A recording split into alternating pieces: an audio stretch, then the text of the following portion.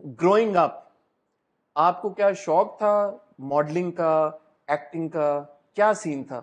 Sir मुझे actor बनना चाहता था मैं। I always wanted to be an actor singing मैं शुरू से करता था। मैं अच्छा सिंगिंग का मैं करता ही था शुरू से। स्कूल में भी कॉलेज में भी यूनिवर्सिटी में आके तो मैं I used to perform in annual dinners वगैरह ये अच्छा। वो मेरा अच्छा। बैंड भी था। हाँ हम कॉरिडोर्स में बैठ के हम जब हमारा गैप होता था हम मैं करता था जैमिंग वगैरह ये सब सारी चीज़ें चलती थी। और अपनी अर्ली टाइम पे मैं हम मूवीज़ तो हम सभी देखते थे। और मैं मिमिक्री किया करता था। अच्छा। अमिताभ की परेश रावल की नाना पाटेकर की बड़ा शौक था मुझे। तो ये चीज़ें भी जो है मैं किया करता था। तो जब मैं अपने दोस्तों में करता था वो कहते थे अबे यार तू तो मतलब भाई तू टीवी में जा। बड़ा अच्छा स्कोप होगा तेरा तो वो है तुझमें टैलेंट है ये है वो है। मैंने कहा देखेंगे करेंगे। मेरी अम्मी चाहती थी कि मैं स्टडी करूँ मैं आगे फ़ौरन से अभी जाके फ़ील्ड में तो खैर मेरा था नहीं कि मैं फ़ील्ड में जाऊँ क्योंकि मैं अम्मी से थोड़ा इन चीज़ में डरता था कि अम्मी चाहती थी कि मैं आर्मी में जाऊँ। अच्छा। तो मैंने आर्मी पब्लिक कॉलेज से ही मैंने इंटर किया और उसके बाद फिर मैंने इकर यूनिवर्सिटी में पढ़ा। तो मैंने स्टडी के बाद फिर I did internship then I did job मैंने जॉब भी की एक मल्टीनेशनल में। अच्छा। बिल्कुल ऑपरेशन में मैंने जॉब की। और अ, मेरे अंडर तकरीबन कुछ अच्छे खासे एम्प्लॉयज़ काम करते थे। अच्छा। जी जी बिल्कुल।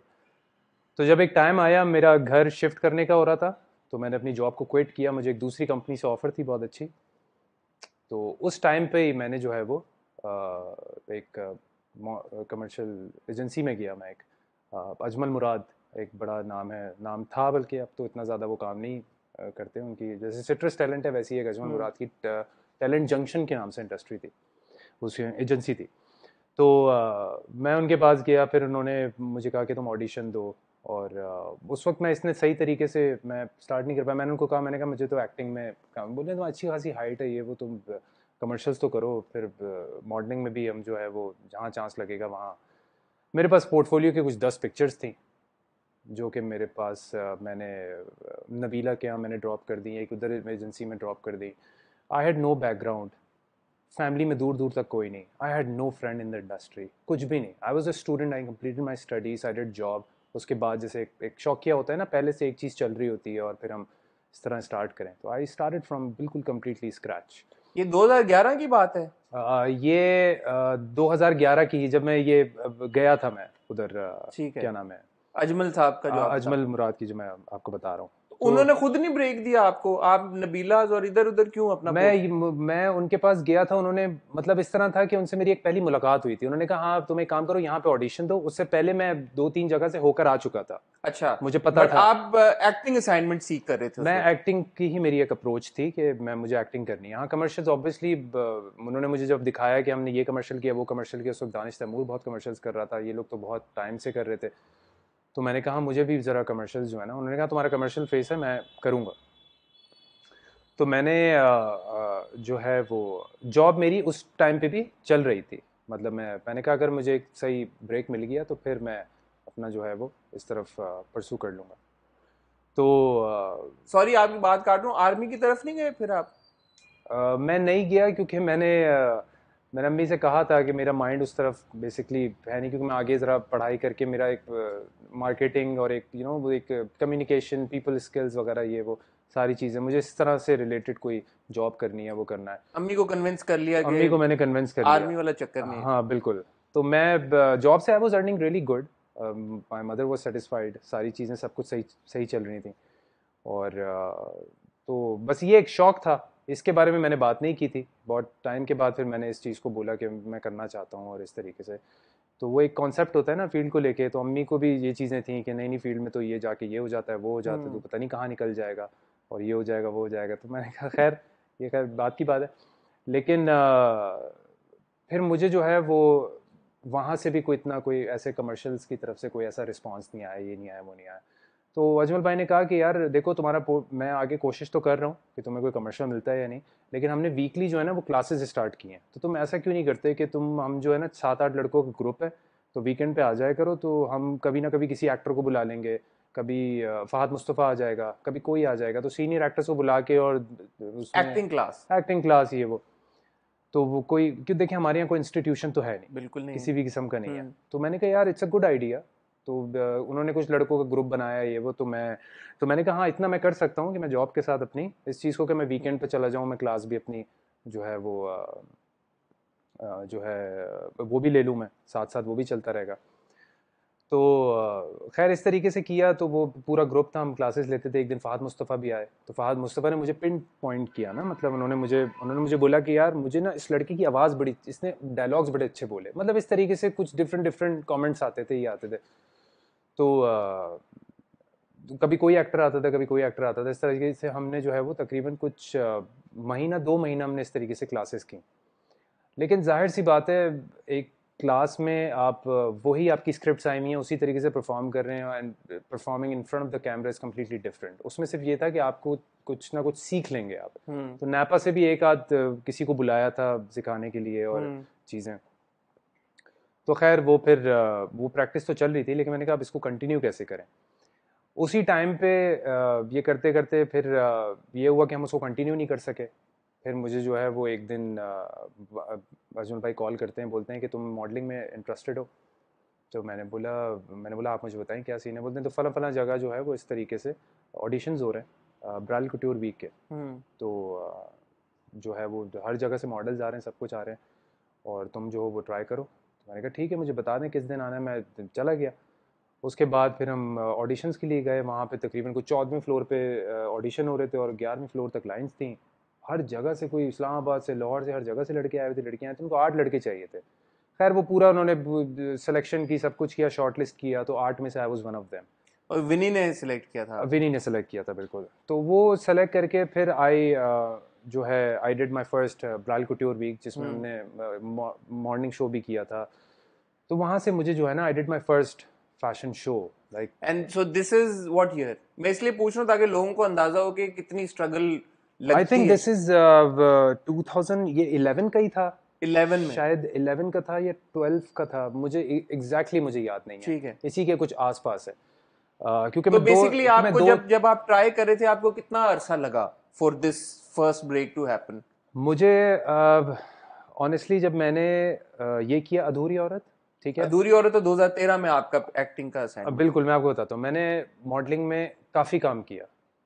I've done I've worked with all the photographers मैंने तबाह की फ़ैशन वीक्स की है मुझे स्टाइल 360 ने उस वक्त स्टाइल 360 था। हम्म, हम्म। तो उन्होंने मुझे ऑन बोर्ड ले लिया कि भाई हमारे फ़ैशन वीक्स होंगे हम कवरेज करेंगे तो हमारे साथ ऑन बोर्ड आ जाओ। तो हम जितने भी शोज़ होंगे साल में इतने शोज़ होते थे मैं करता था ये वो। लेकिन मैं ट्राई कर रहा होता था कि मुझे जो है वो एक्टिंग एक्टिंग में कोई चांस मिल जाए।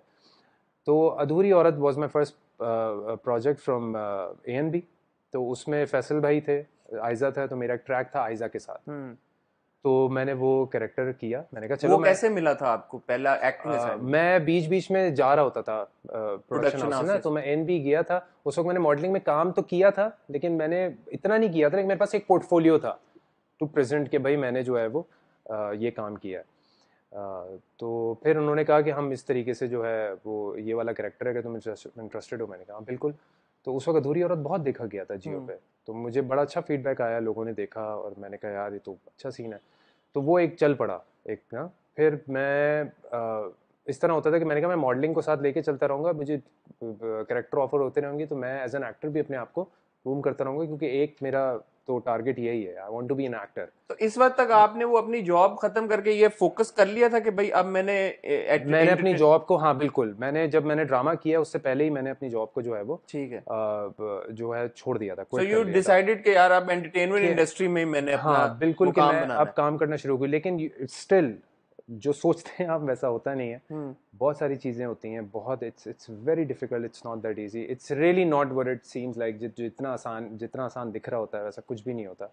तो पूरा यार हीरो बन के आए मॉडल पे हाँ, रैंप पे वॉक की और मतलब पूरा प्रोसेस है और सारी चीज़ें हैं और हम पूरा पूरा दिन लगाते थे शोज़ में। और मतलब मैं बीच में तो मतलब मैं ऐसा हो गया था कि मतलब मैंने कहा यार मैं अच्छी खासी जॉब कर तो रहा था। हम्म। मतलब मैंने क्यों मतलब मेरा भी कोई अगर नाम शाम होता पीछे तो फिर चीज़ें बड़ी आसान होती क्योंकि हम मैं उसी टाइम पे देख रहा होता था कि यार आ, फिर मैं अपने आप को जो है सोचता था कि यार सही है एक एक ग्रूमिंग पीरियड होता है सही है मुझे अपने आप को ग्रूम करना चाहिए।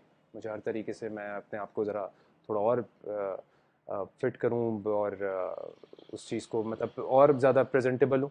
कि मतलब नज़र में आऊँ और अपनी एक्टिंग को और ज़्यादा वो करूँ। लेकिन मैं जब भी बाकी एक्टर्स को देखता था ये वो तो मैं कहता था, यार तो बड़े आम से लोग जो हैं, वो इतने मतलब इतना कोई एक्स्ट्रा ऑर्डनरी कोई वो नहीं है हमारी इंडस्ट्री में कि आप बोलें कि यार, ये तो ऐसा गुड लुकिंग ठीक है गुड लुकिंग होते हैं, लेकिन एक आम, जैसे नॉर्मल दिखने में इंसान होता है, वैसे सारे एक्टर्स वगैरह हैं। तो एज अ मॉडल मेरी एक एक वो था कि मैं एज अ मॉडल अपने आप को ग्रूम करूँ ठीक है ना? क्योंकि मॉडल में यही होता है कि model should look like a model ठीक है? As compared to the actors एक मॉडल में एक एक वो चीज़ फैक्टर होना चाहिए।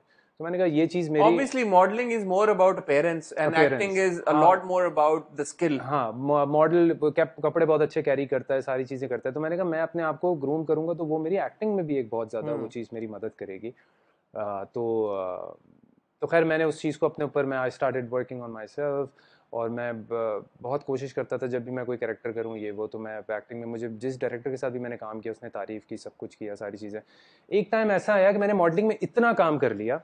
I've nominated like couple of times I got I done all the brands मैंने मेरे पास इतना पोर्टफोलियो जमा हो गया।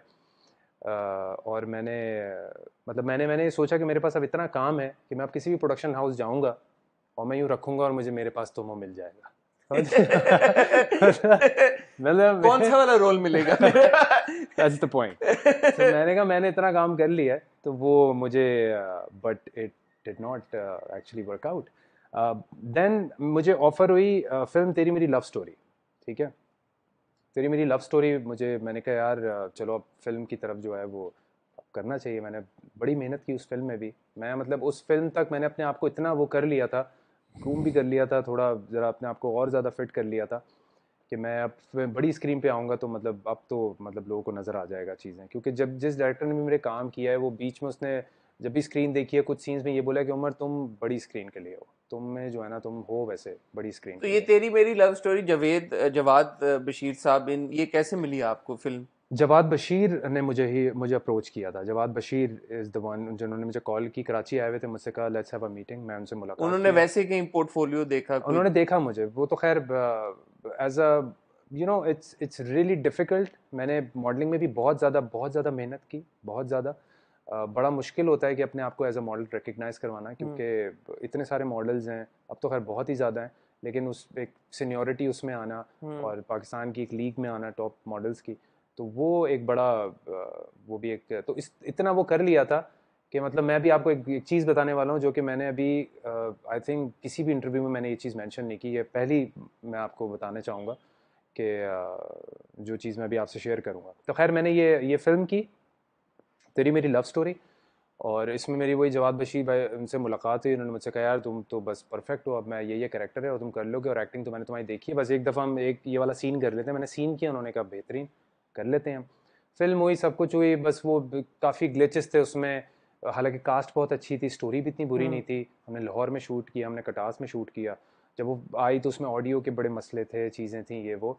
इट एग्जीक्यूशन हाँ बिल्कुल it did not went like well मैं ये कहूँगा।